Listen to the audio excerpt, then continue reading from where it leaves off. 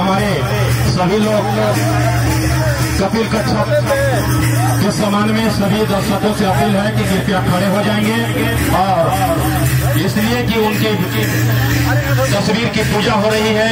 आज ऐसे एक आदर्श खिलाड़ी, एक ऐसे गाँव का आदर्श खिलाड़ी जिनके यादगार